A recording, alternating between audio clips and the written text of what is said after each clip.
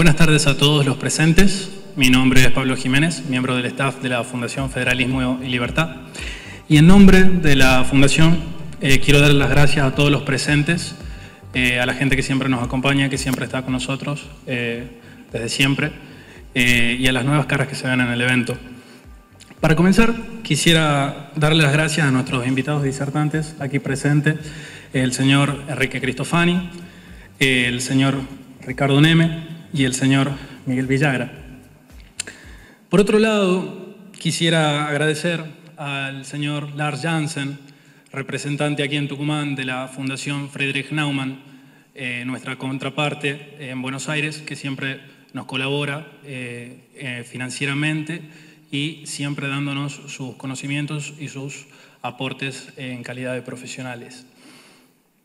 Em, así también quisiera agradecer a los sponsors de este evento, eh, con toda su gentileza, a la Municipalidad de San Miguel de Tucumán, a las empresas Betex, Rayo Bus, Argentilemon, Grupo Luchi y Estudio Comba. Como ustedes saben, nuestra fundación es un centro de estudios fundado y liderado por jóvenes que tiene como objetivo promover los valores de una sociedad libre y democrática.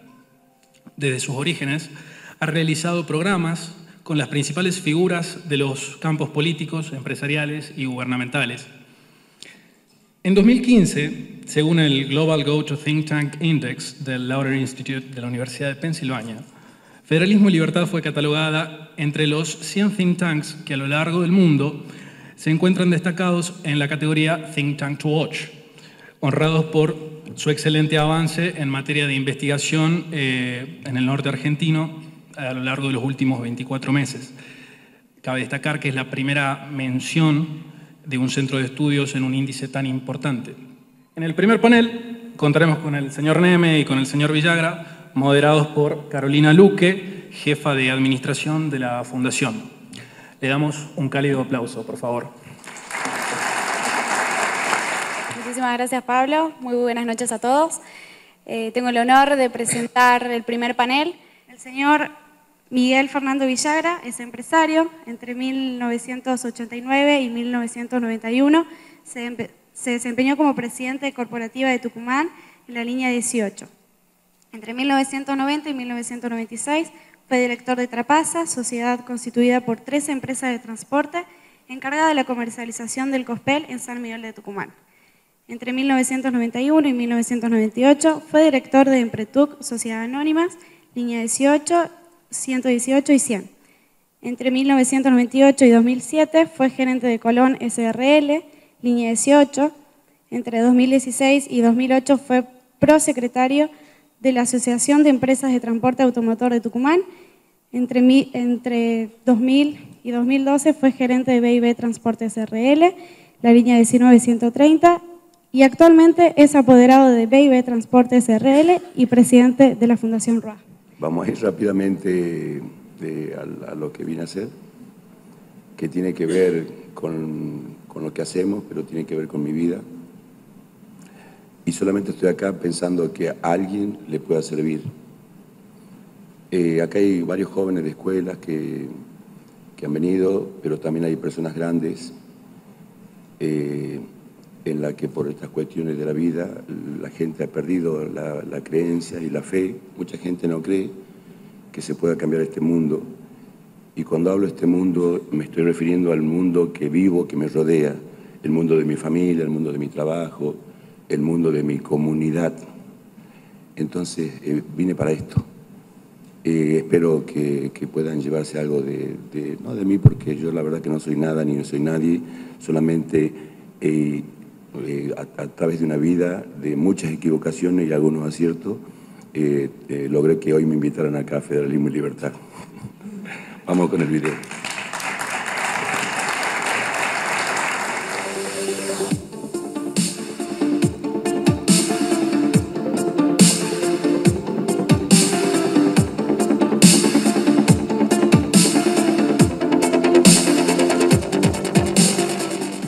Transportamos 5 millones de usuarios al año. Tenemos una frecuencia de 8 minutos los días hábiles y 15 minutos los fines de semana y feriados. Contamos con un servicio GPS en todas las unidades para detectar a través de la web cuándo llega el próximo colectivo. Gestionamos con instituciones del Estado y ONGs buscando permanentemente beneficios para nuestros clientes. Recibimos y respondemos consultas a través de las redes sociales. Reparamos los baches de nuestros recorridos. De ser la línea más odiada de San Miguel de Tucumán, pasamos a ser la más querida. De ser la última en cantidad de usuarios transportados, pasamos a ser la línea número uno en venta de pasajes.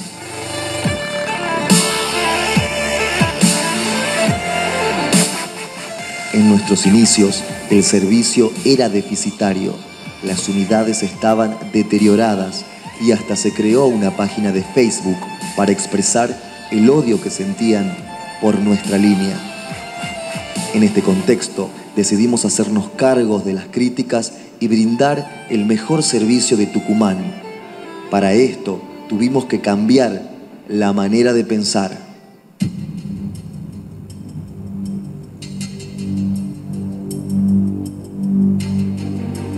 Esto implicó un cambio en cuatro áreas. Servicio, capacitación del personal, sensibilidad social y comunicación.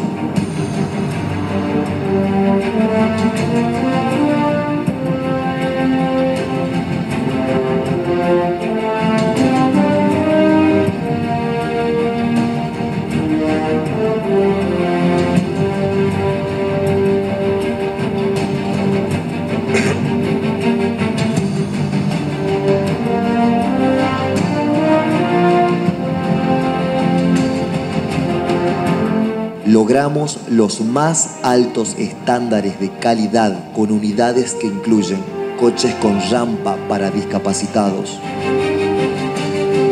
cortinas, asientos ergonómicos, cestos de papel, cartelería institucional e informativa.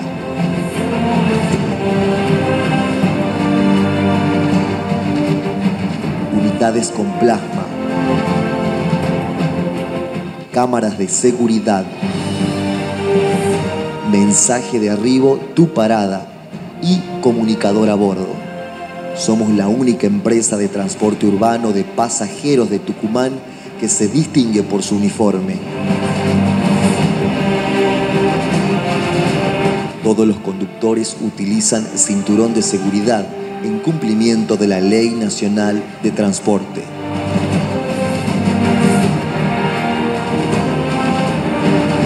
La calidad y la puntualidad de nuestros servicios le brindan seguridad a nuestros clientes.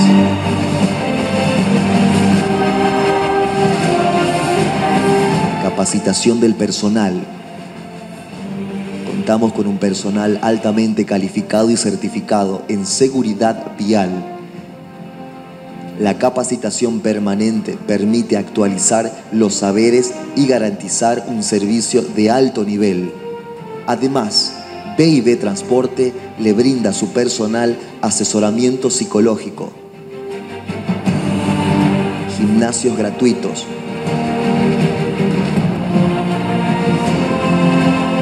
uniformes de trabajo y capacitación gratuita, sensibilidad social. Concientizamos a los ciudadanos con el cuidado del medio ambiente organizamos actividades recreativas al aire libre para pasajeros y el personal. Comunicación. Tenemos más de 33.000 seguidores en Facebook, Twitter, Instagram, YouTube y página web. Damos cortes de calles, cambios de recorrido, información de interés para nuestros clientes. Respondemos todas las preguntas en tiempo real. Reconocemos y difundimos el buen desempeño de cada uno de los integrantes de B&B Transporte. Hoy, Línea 19 cuenta con el reconocimiento de toda la provincia como la mejor línea de transporte de pasajeros. el fundador de B&B Transporte SRL, Miguel Villagra, y su gerente, Maximiliano Villagra, son invitados constantemente para disertar en distintas instituciones sobre el modelo de trabajo de la empresa. Proyectamos el 100% de la flota renovada en aire acondicionado y calefacción.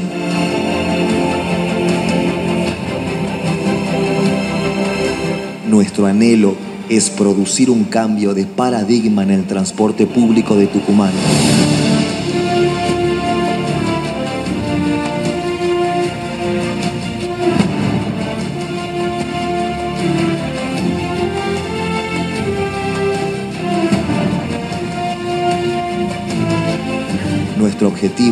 Es ser la mejor empresa de transporte urbano de pasajeros del país.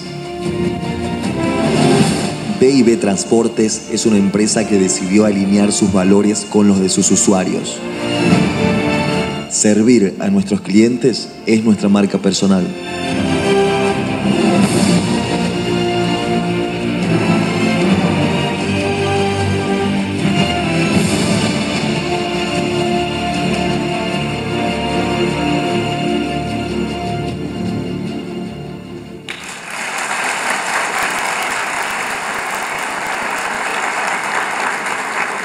Gracias.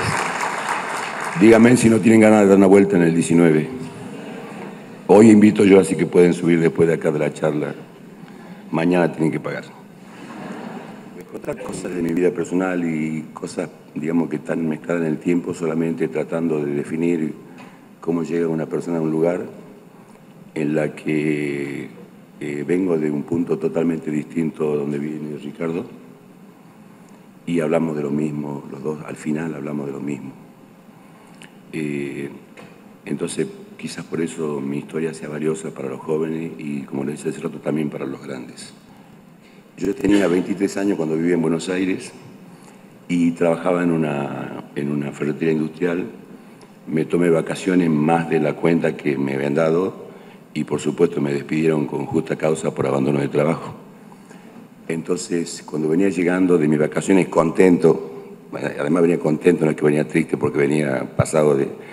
Eh, había fallecido el esposo de mi hermana, que vivía con ellos, yo tenía tres nenas chiquititas, y bueno, eh, no, teníamos dinero, entonces yo me había gastado todas las vacaciones y ella vivía el día, entonces tuve que salir a trabajar, y ¿dónde trabajaba? En el puerto de Buenos Aires.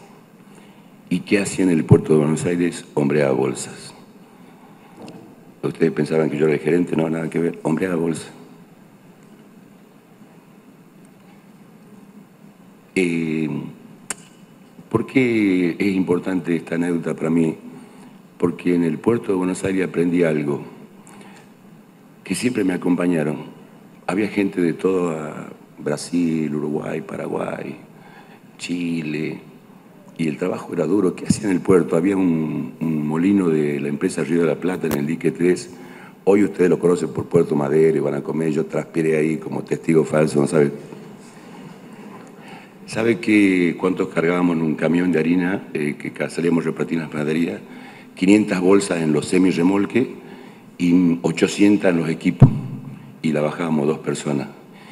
Y los porteños tienen una costumbre que la cuadra se llama el lugar donde se pone la harina.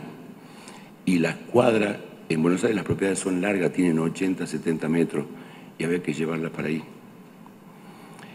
Ahí descubrí una cosa, que yo era más fuerte de lo que creía ser, porque cuando vivía en Tucumán mi papá tenía unos camiones y yo le ayudaba y, y con poco menos creía que me estaba muriendo y nada que ver. Aprendí en Buenos Aires que tenía más fuerza de lo que creía en mí mismo aprendí otra cosa que cuando pasó lo que pasó con mi, con mi, cuñado, me hice cargo y hice lo que tenía que hacer.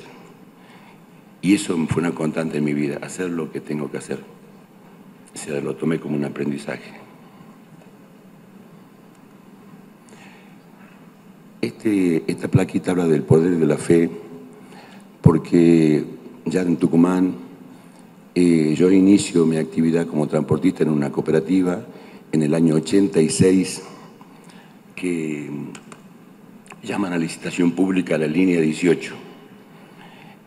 Y entre ¿Por qué llaman a licitación? A unos años antes, cuando Rubén Chevalla era candidato a intendente, nos promete a un grupo de trabajadores, la mayoría desocupados, yo vivía en Buenos Aires todavía, éramos una cooperativa, yo aportaba mi cuotita de Buenos Aires, que cuando él gane nos iba a dar la línea 18, que ya estaba en un proyecto del municipio, y nos iba a dar un crédito de los coches. Ganó Rubén Chevalla. ¿Quién adivina qué pasó cuando ganó? No cumplió. No hace falta que digan. ¿Pero qué hizo algo bueno? Llamó a licitación pública. En Tucumán no se presentó nadie. No se presentó nadie. Y nosotros nos presentamos y ganamos porque no se presentó nadie, sí teníamos únicamente una carpeta con papeles. Pero mire, éramos pobres en serio todo.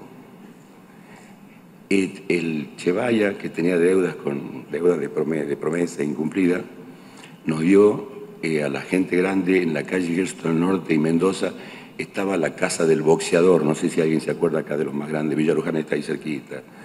La casa del boxeador, que ya no había boxeador en ese tiempo, no sé qué había pasado, no, no tienen más esa casa, nos dan para hacer ahí el, prestan taller y oficina. La oficina, la oficina tenía tres paredes, le faltaba una. Y para colmo nos tocó en invierno, era invierno. La fosa era un agujero en la tierra. Estaba cavada en la tierra, no tenía cemento, no tenía nada. Entonces, eh, eh, cuando nosotros ganamos la licitación en la línea 18, bueno, había que cumplir con los coches. Y no teníamos modo de... Pero después de varias intimaciones del municipio que prestamos el servicio, el presidente nuestro, que se, llama, falleció, se llamaba Abraham Jure, él sostenía, siempre sostenía, que salíamos, que salíamos, y el último plazo que nos dieron el 25 de mayo del año 1986. El 20 de mayo todavía no habíamos conseguido ningún banco que nos preste un nada, ni nadie nos dé crédito, pero él sostenía que salimos el 25 de mayo. El 22 de mayo viajamos a Córdoba, había una, fábrica Ferrón y una fábrica nueva, con el secretario de Obra y Servicio Público del municipio, el ingeniero Grimaldi, y, con, bueno, con el compromiso que nos presten un coche una semanita, que si, como era nuevo la fábrica, que si andaba le íbamos a comprar 10. Nos prestaron los, los cordobeses.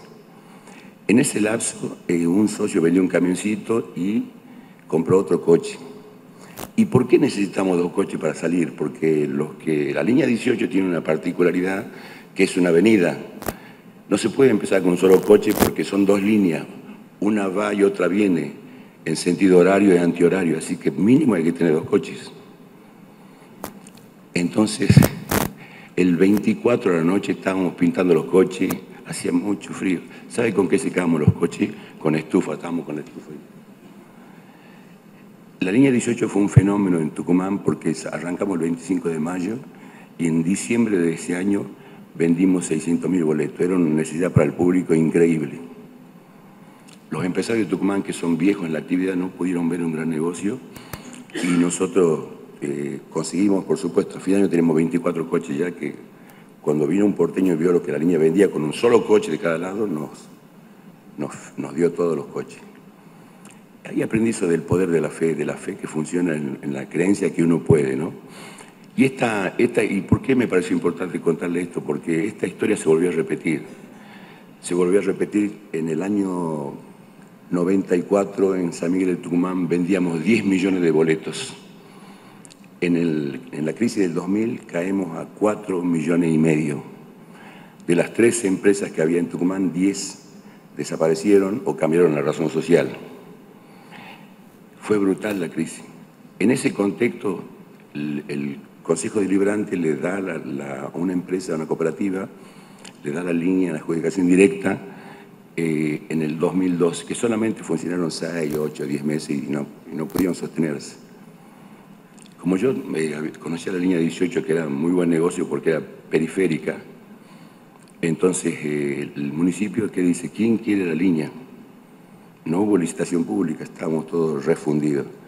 Nadie quiso la línea, en la Cámara hay más de 50 empresas. ¿Quién fue el único irresponsable? Yo quiero la línea. bueno, también no tenía ninguna posibilidad de comprar los coches.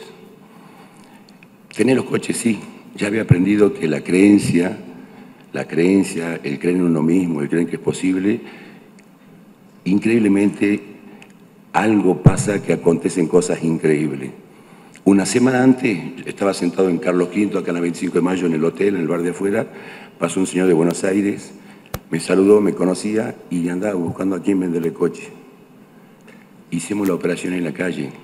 La operación era de palabra, no teníamos cheque, no teníamos nada, solamente teníamos la línea. Nos dio los coches que necesitamos. Eran coches viejos, pero arrancamos así. En el año 2008 se llamó a licitación pública en Tucumán y nosotros tuvimos que competir con un grupo de, bueno, que está ligado a la política.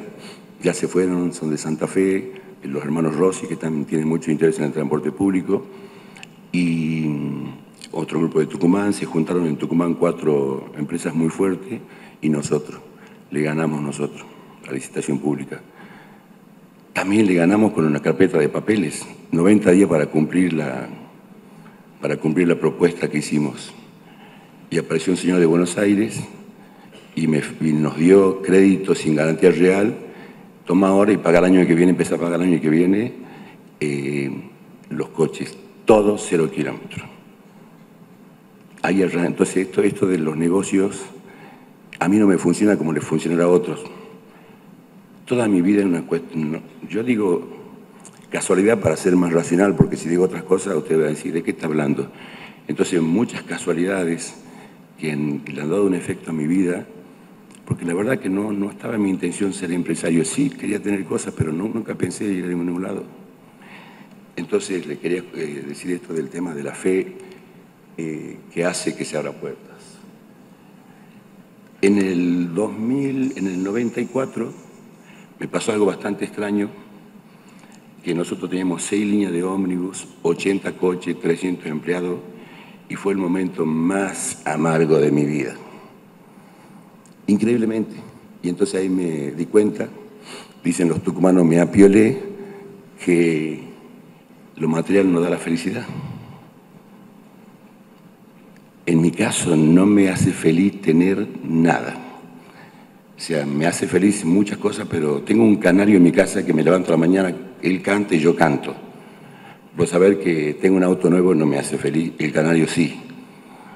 Entonces, en mi caso puntual, hace rato que yo desistí de acumular cosas en lo material.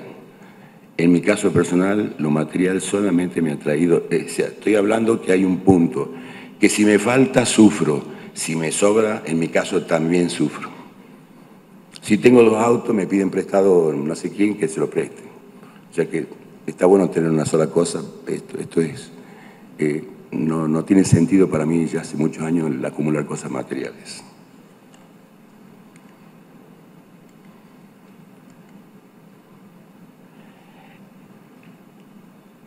Nosotros en, el, en un momento, después del 2002, 2003, que arrancamos con la 19, llevamos 3, 4 años eh, luchando para tratar de sobrevivir con pedazos de línea. Yo vendí y perdimos algunas líneas, otras tratamos de, de reconvertir.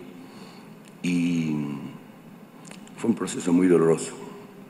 Cuando una empresa se cae, cualquier tipo de empresa, pero en el transporte público, eh, sigue funcionando la línea, la empresa se cae, la toma otro, o de afuera o de adentro, como en el caso de Tucumán que se hicieron UTES.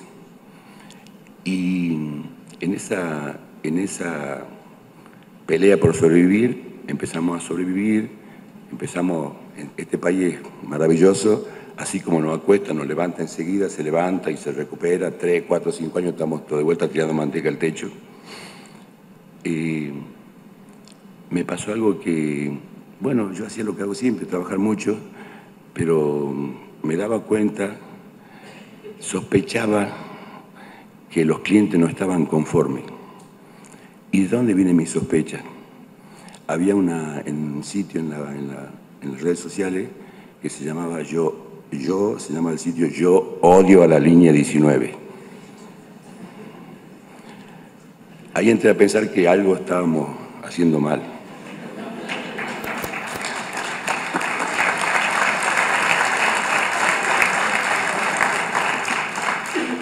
Miren, el Papa Francisco en la última encíclica dedica un, capítulo, no me acuerdo con el nombre, al sufrimiento que le causa el transporte público a la gente en Latinoamérica. Hasta el Papa se queja.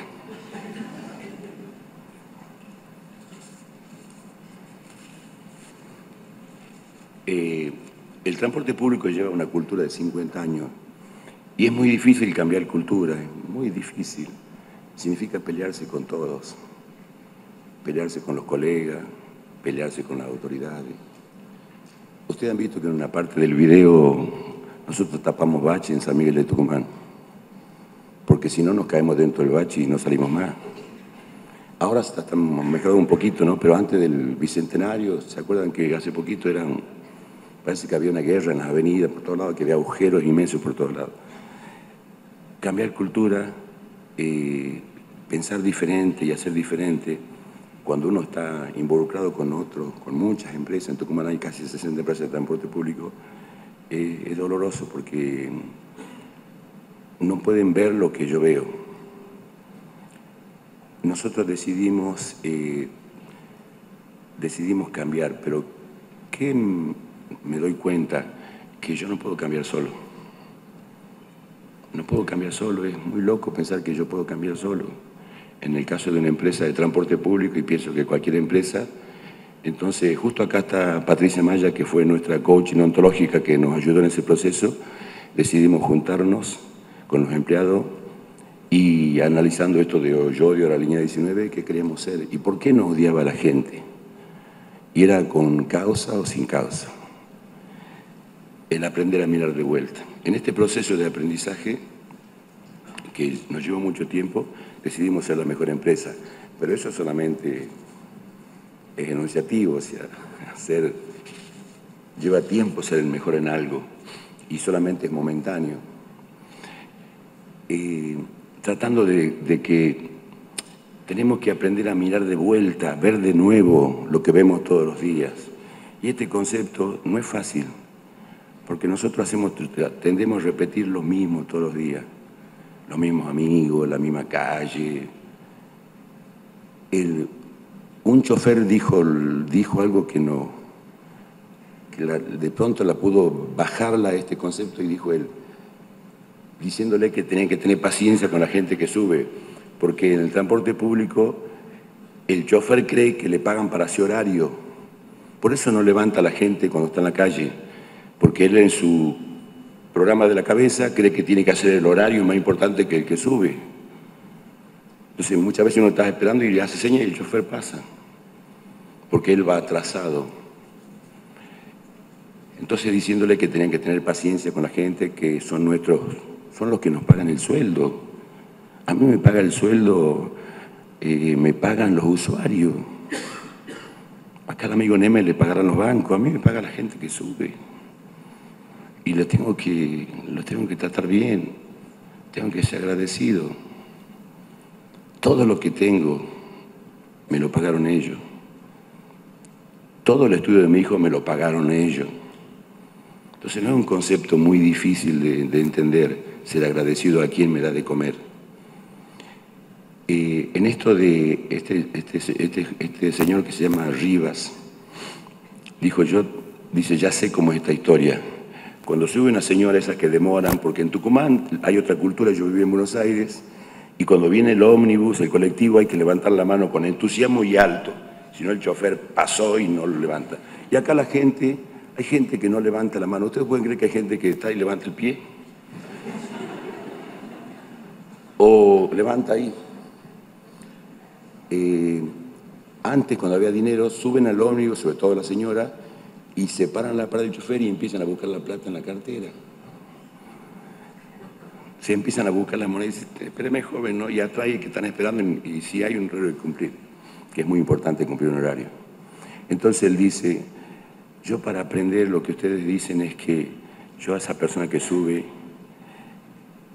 que me demora, que me fastidia, la tengo que ver como si fuese mi tía vieja, como si fuese mi hermana la tengo que reconocer de otro modo. Fíjese en que en la cultura del transporte público, ¿sabe cómo le dicen a la gente que viaja? Pasajero.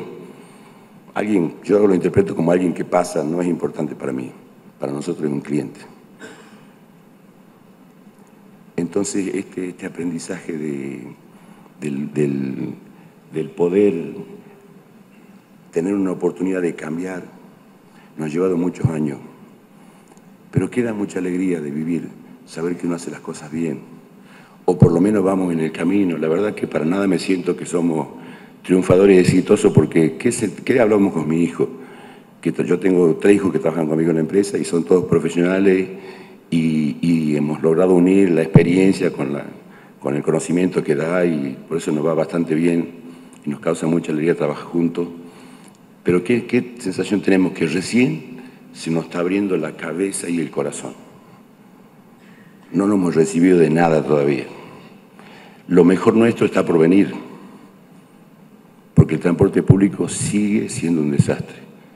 Hay signos de cambio alentadores, ¿no? En la capital de Tucumán, a partir de este año, únicamente se pueden incorporar coches con aire acondicionado.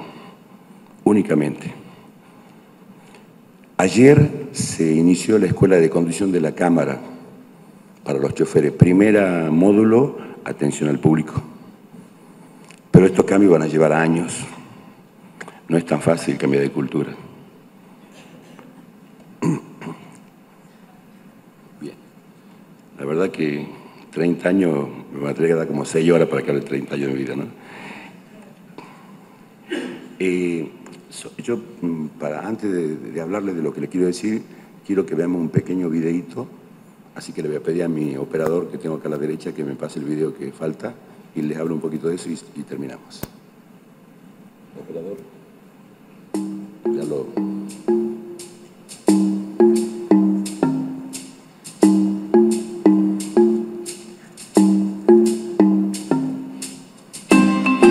Fundación RUA es una organización que busca el bien común a través de la generación de redes con las instituciones públicas y privadas.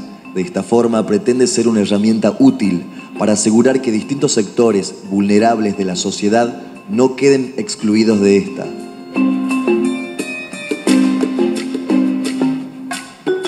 El proyecto Confío en quien soy busca que las personas con discapacidad puedan lograr una autonomía a través de la promoción de la educación, la igualdad, el desarrollo personal.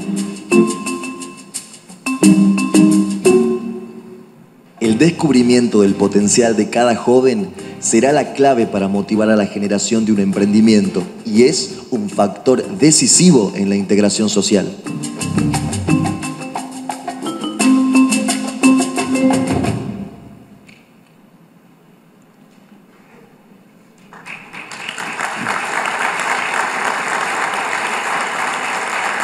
Fundación Ruga es una fundación que es parte de la empresa, de hecho los cuatro, mis tres hijos y yo somos los socios fundadores. Eh, uno de mis hijos, el más chico, eh, y yo trabajamos muchísimo en la fundación porque este Tucumán es un Tucumán que vale la pena que nosotros hagamos algo, pero sobre todo hay algo que les quiero contar, como dice un amigo mío, Raúl Feller, que trabajamos juntos en algunos casos, eh, que tendríamos, tendríamos que hacerlo los que son empresarios y los que no lo son también, eh, hacerse cargo un poquito de lo que pasa en Tucumán. Porque uno vive, va de su trabajo a la casa y por ahí le liar y ve la tele, pero no se puede imaginar lo que pasa en Tucumán. En Tucumán estamos rodeados por, por sectores re complicados, en que hay zonas liberadas, hay droga, los chicos se mueren todo el tiempo, se mueren porque tienen droga o se mueren porque no tienen droga. Raúl dice, egoístamente deberíamos hacernos cargo, ayudar, porque no sé si ustedes se acuerdan del último saqueo que no hace, no hace mucho, dos o tres años para atrás, fíjense en que cuando se mueve esta zona marginal, están acá 10 cuadras. Entonces yo miserablemente debería dar una mano para que no me vengan a, porque usualmente no se mueven solo, alguien los mueve, tiene que ver con la política, creo yo, pero bueno, no viene el caso este comentario mío. Eh, hacernos cargo de ellos. Le cuento una breve experiencia. Los Carmelitas Descalzos es una, una congregación religiosa que está en la calle Italia, frente a la cancha de Oloy. Ellos trabajan con el, el sifón el chivero y la bombilla. Se retiraban de Tucumán porque no pueden sostener el proyecto de ellos que es educativo. ¿Qué dicen los curitas? Que el único modo de lograr que nosotros tengamos un futuro sin violencia es que trabajemos en los niños. Mientras tanto, el Estado o quien fuese contiene a los adultos. Hay que recuperar a esos chicos. Y los curitas se iban porque les faltaba quien los... no les cerraban los números. Es una, una comunidad educativa que no cobra, no cobra cuota, pero es privada. Entonces el Estado lo trata como privado. Tienen subsidios a media. Como ellos está la costanera y hay un montón de barrios. Eh, siendo no miserable, sino siendo consciente de que esto es una comunidad, que somos parte de un todo, que no hay modo que alguien sufra, aunque yo no lo vea ni sepa, no, no me afecte a mí, a mi familia, a mis hijos, a mis nietos. Entonces deberíamos nosotros pensar un poquito y tratar de hacer algo. Con muy poquito se puede hacer muchas cosas cuando juntamos fuerza. Así que esto es todo por lo que tengo para decirle. Le agradezco a la Fundación haberme invitado. Gracias a ustedes por la paciencia. Y bueno, será hasta en cualquier momento porque vivo en Tucumán. Y no se olviden que están invitados a dar una vuelta en la línea 19 esta noche. Muchas gracias.